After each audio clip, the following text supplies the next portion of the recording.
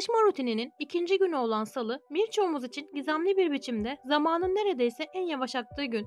Bir önceki hafta sonu sanki asırlar önceymiş, bir sonraki hafta sonu ise sanki asırlar varmış gibi. Peki nasıl ve neden haftanın bu ikinci gününde zamanın neredeyse kaplumbağa hızında akıyor olduğu algısına kapılıyoruz? Zaman algısı üzerine yapılan çalışmalar, beynin almış olabileceğiniz uyuşturucular, içerisinde bulunduğunuz duygular ve hatta zamana gösterdiğiniz dikkat miktarına bağlı olarak tuhaf bir biçimde zamanı esnetebildiğini ortaya koyuyor. Örneğin şizofreni gibi bazı nörolojik vakalarda bilim insanları zaman algısının gerçekliği çarpıtır bir biçimde yolunu şaşırtabildiğini ve hatta olayların mantıksal ilişkilerini kaybetmeye yol açabildiğini gösterdiler. Öte yandan geçtiğimiz yıl yapılan bir meta-analiz çalışması, depresyon hastalarının zamanı sağlıklı bireylere göre daha farklı algıladıklarını ortaya koymuştu. Bu durumun sağlıklı beyinlerdeki en dramatik örneklerinden birisi de insanlar ölümle ya da ölüm ihtimaliyle burun buruna geldiğinde, örneğin trafik kazası, paraşüt atlamaları ya da fiziksel çarpmalarda ortaya çıkar.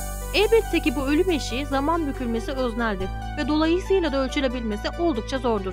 Fakat bilim insanları denekleri korkutucu yeni durumlar içerisine sokarak bu vakaların gizemine ışık tutmaya çalışıyor. Örneğin yapılan bir deneyde ilk kez paraşütle atlama deneyimi yaşayan katılımcıların atlayış sürelerinin ne kadar sürdüğünü olduğundan fazla gösterme eğiliminde oldukları görüldü. Atlama öncesi ve atlama sırasındaki korku insanlara atlayışın daha uzun sürdüğü hissini veriyor. Bu teori belki de haklı olabilir. Hayatı tehdit eden durumlarda coşan duyularımız bizde yüksek bir ayrımsama duyarlılığı yaratır. Bu kavram alarm halinde olduğumuza işaret eder. Dolayısıyla normal bir anda olduğundan daha fazla bilgi absorbe edebiliriz. Dolayısıyla dünyayı yavaş çekimde görüyor gibi oluruz. Fakat sinir bilimci David Eagleman ve beraberindeki ekip arkadaşları ve onların Dallas'taki 31 metrelik bir binada bir ağ üzerine güvenle atlayan cesur öğrencileri durumun böyle olmadığını ortaya koydu. Gönüllü atlayıcılar atlayışın sonsuza kadar sürdüğünü hissettiler. Ancak düşerken kol saatlerindeki bilgiyi okumada hiç de iyi bir beceri gösteremediler. Bir başka deyişle gönüllülerin zaman çarpıtmaları geçmişle ilgili bir ölçümden yani bir hafızadan daha fazlasıdır. Fakat elinden geldiğince kötü olabilen salı günleri yüksek bir yerden atlamak gibi değildir. Salı günleri yeterince sıkıcı ve duygusuzdur. Dolayısıyla salı günü için farklı bir hipoteze ihtiyacımız var. Belki de bu fenomen için iş günleri ve hafta sonları arasındaki dengeye bakmamız gerekiyor.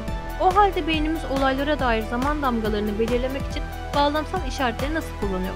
Deliller benzer ya da aynı bağlam içerisinde gerçekleşen olaylara dair hafızaların zamanla birbirine yaklaştığını gösteriyor. Örneğin bir partide gerçekleşen şeyler hafızanızda bir arada tutulurlar ve sonrasında bir takside gerçekleşmiş şeylerden ayrı olarak dururlar.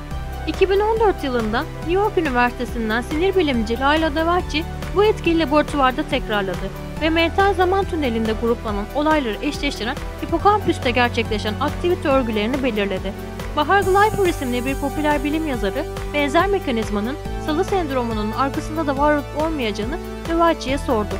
Yani pazartesi gününün programındaki ani bir değişiklik zaman algımızı bozarak pazar gününe dair hafızalarımızı mental zaman tünelimizde daha da geriye itip bizde aradaki zamana ilişkin bir boşluk hissi bırakıyor? Devaçi'nin cevabı ise biraz belirsiz bir evet oldu.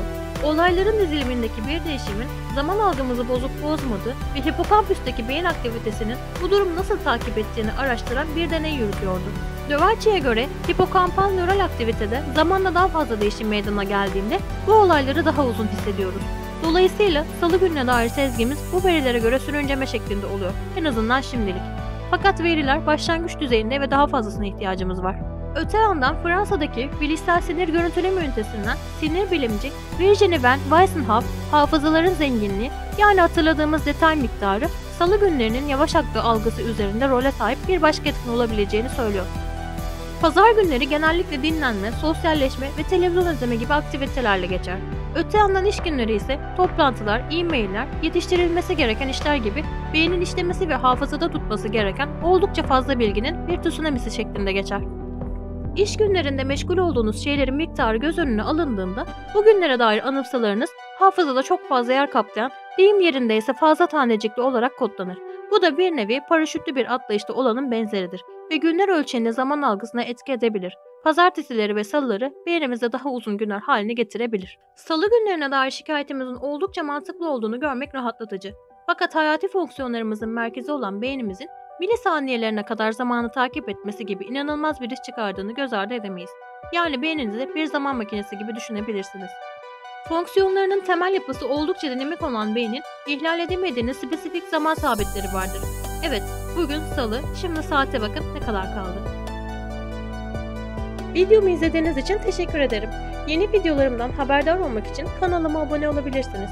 Yeni bir videoda görüşmek üzere, hoşçakalın.